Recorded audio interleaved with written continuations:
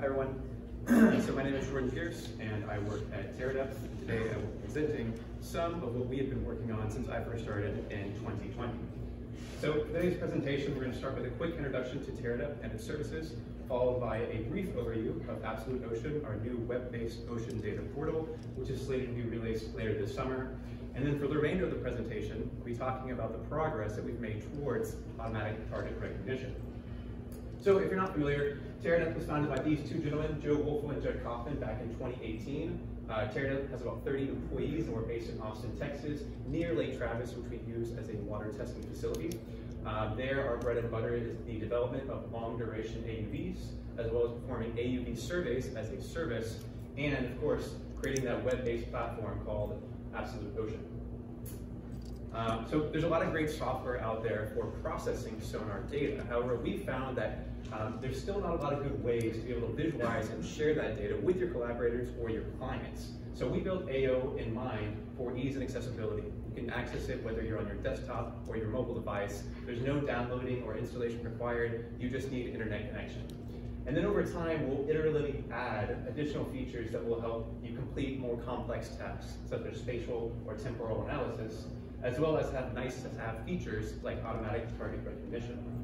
So if we were to hop into AO, you're immediately presented with the ability to explore the blue marble. Here you can see you're moving in towards a survey that's available to you and you're exploring the data products in 3D.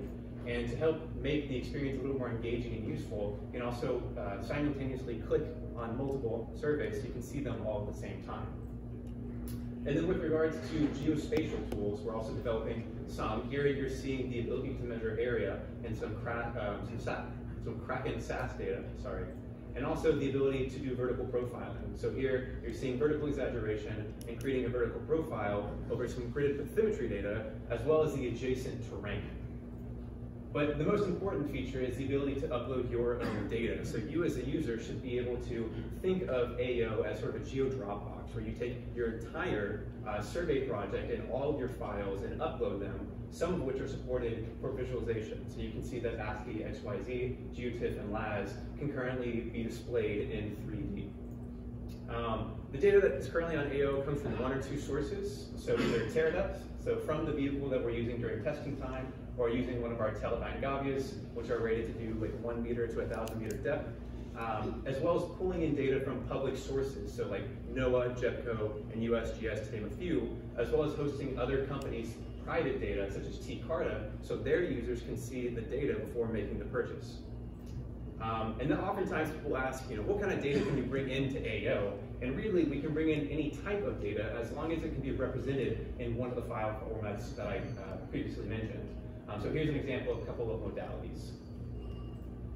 Uh, so from this point on, I'm going to pivot and focus more on automatic target recognition. And here is a great graphical representation of what that is. So we're looking at a 3D point cloud that is color-coded, where blue represents low elevation and red is high elevation. And you can see that we have objects of interest encapsulated inside of green bounding boxes, which is represented by the current truth, and then we have red bounding boxes, which are predictions. So why ATR? Well, as you know, hydrographers collect large volumes of data, and that means that the conventional practice of manually identifying targets is no longer scalable. And oftentimes when people hear large volumes of data and automation, their mind goes towards machine learning, because it's already shown success in other fields, such as self-driving cars, facial recognition, and diagnosing some cancers. However, there's actually some obstacles to using machine learning for the purpose of ATR, and ironically, it's data availability. So uh, meta-analysis published in 2020 found that there are very few large, well-curated data sets made available to the public for the purpose of ATR. And those that do exist are either too small or they're not representative of the real-world environment. And I know what you're thinking, or hydrographers, we collect terabytes of data for every single survey, but in reality, only a small percentage of that might actually be used for the purpose of ATR. And although hydrographers do a fantastic job of creating contact reports, most of the time, the annotations that they create, point annotations, don't contain the geometries necessary for training a machine learning algorithm. So when I first started at I thought that I would need to build models. But after starting, I realized what I needed to do first was to build a very large, comprehensive data set, since currently none really exist. However, there's some conditions that you need to consider when building one of these data sets. First, you need a lot of data, ideally as many unique samples as possible, and for them to be representative of the real world environment in which you intend to deploy your model. And because we're performing ATR, we need data that has a high enough spatial resolution to be able to discern individual objects of interest. And for the sake of convenience, you want your data to be clean and in a consistent format. Um, so after spending a bit of time looking at different data sources, I ultimately settled on NOAA's NOS hydrographic survey data, which if you're not familiar is actually used for mapping coastlines and EEZs. Uh, so from this data source, we're actually pulling the bathymetry data, which has spatial resolutions as low as 0.5 meters to about 2 meters, most of which are stored inside of bathymetric attributed grids or BAG files. But the real reason why we sort of settled on this particular data set is because for each survey, there's a descriptive report which contains detailed information of each object identified by trained hydrographers and useful metadata that could serve as the basis for creating labels. This was a potential gold mine for me. So we got to scraping and uh, we downloaded all data from 2000 to 2020. Uh, you can see here in AO the cyan dots represent all of the individual surveys around the US. And from this collection, we identified which actually contained at least one object of interest. So we developed some code to scrape all of the metadata from the descriptive reports and output about 13,000 point annotations, which served as the basis for creating fitted polygons uh, in total, we have about 45,000 of those. And I know that there's a discrepancy between the number of point annotations and the number of objects labeled, and that's because sometimes there will be a one-to-one -one ratio with point annotations. You'll have one and one object as seen with the wreck, and sometimes you have a single and a field of objects as you can see here with the fish haven. So we created labels actually in 2D from a bird's eye perspective, and you can see that we created fitted polygons. And the reason why is because from this, we could programmatically create rotated or axis-aligned bounding boxes, or segmentation maps. So you can use semantic segmentation, which is per pixel level classification. And although we did it in 2D, because we're working with bathymetry data, we can easily project that into 3D to create 3D bounding boxes, as well as 3D segmentation maps. So we have these types of labels for all 45,000 uh, objects of interest. Now, as I said before, there's not a whole lot of data that is available for the purpose of ATR made available to the public. And unfortunately, we can't release all of our data at this time, but we are releasing a very small subset to serve as a benchmark for those who are interested. Uh, the data that we're using is actually uh, coming from survey H12891, which is near Jamaica Bay, New York. It covers an area about 45 kilometers squared, and in total we have about 3,000 labeled objects, though for our experiment, we're only fo focusing on uh, about a thousand of those, which are highly suspect of being wrecks. Uh, in our experiment, we have two very simple questions. Uh, the first is, does increasing the depth of your deep learning model increase model performance? Because the rule of thumb is more difficult problems may need models with more parameters. So to do this, we simply vary the encoder, which has different levels or different amounts of parameters. So it's either EfficientNet B0, B2, or B4. Now the second question is, uh, can a model perform better if it is trained from scratch, or if it is fine-tuned using weights previously trained on optical data? And to me, this is a more interesting question because we're using bathymetry data, not optical data. So to do this, we simply vary the weights. We either start with randomized weights, or we use weights that were previously trained on an image on a data set called the ImageNet data set, or we use weights that were previously trained on an even larger data set, and those are called noisy student. Now, with regard to training, uh, we chose to represent our 3D bathymetry data as 2D DEMs and scaled the bathymetric values to be between 0 and 255 to act like an image so that we could use those other weights. Uh, with regards to training, we actually chose to use a UNet architecture, which is actually for performing semantic segmentation. However, we could use OpenCV to create rotated bounding boxes to sort of simulate object detection as well. With data augmentation, we did the normal flip-flops and rotations, as well as varied the resolution of our training samples to be between 0.5 and 1 or 2 meters. And then we also performed k-fold cross-validation. Now this is a machine learning technique that is used to help reduce model bias. This is actually really important. So what we did is we took our survey, and we divided it to five distinct, non-overlapping geographical areas where each area has roughly 200 or so objects.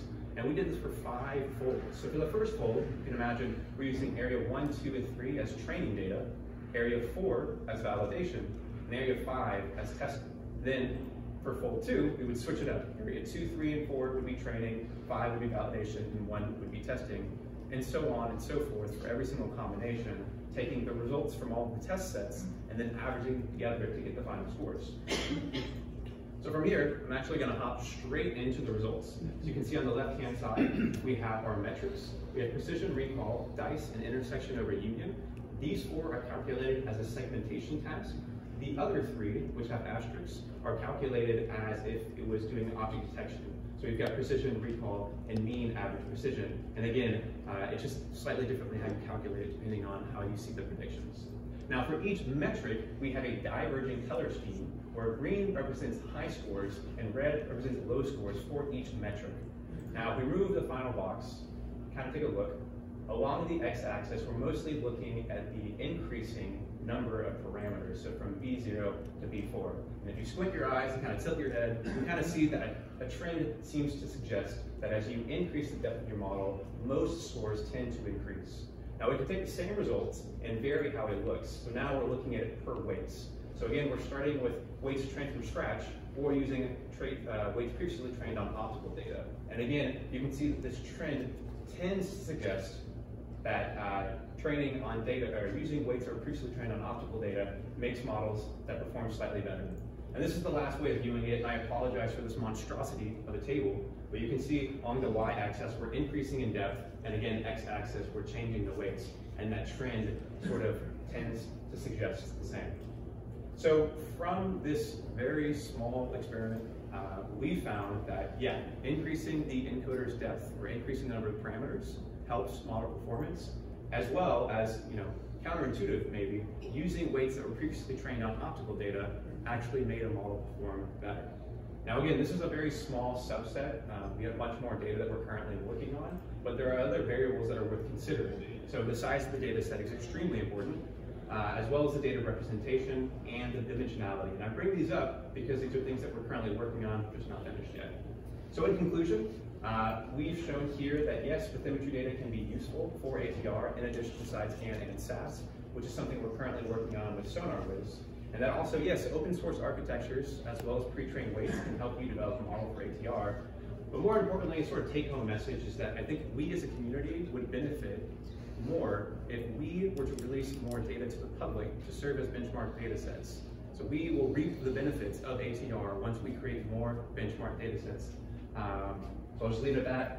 Uh, acknowledgements, thanks to CHS, and then also Teradep and Seagate, uh, and iMerit for everything you've done, uh, some references, and uh, I think I don't have, maybe a little bit of time for questions, but if, if you want, uh, you can check us out at booth 110. Um, Thank you, Jordan. Well done.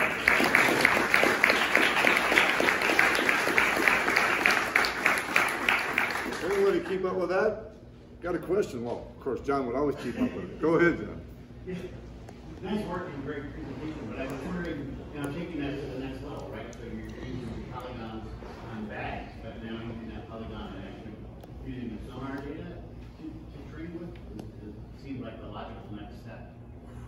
Uh, so yeah, we're currently using the process data and we're encapsulating those with bounding boxes just to show the model that these are the particular objects that we're interested in.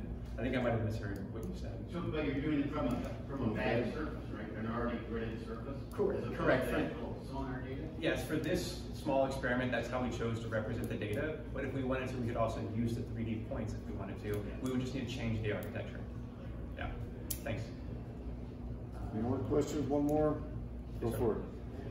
Um, will you just be releasing the data set or will you also be releasing the model that's being trained on the small subset of data set? Yeah, that's, that's a good question. Um, so the, the benchmark data itself will be released. It's really just the labels because the data actually comes from NOAA, so you can download that trick from their site. Um, so the benchmark will be made available. Uh, the model and architecture will not be. However, I would like to say that, um, as I said, we have a large amount of uh, labeled data and we can't release it, but I'm almost certain that if you know you're a student or a researcher and this sort of data interests you, you know, please get in contact with us. I'm sure we can work something out. Thank you so much. Yeah. Thank you. Thank you, Jordan. Great picture. Very professional. All right, our next talk will be on cleaning outliers and.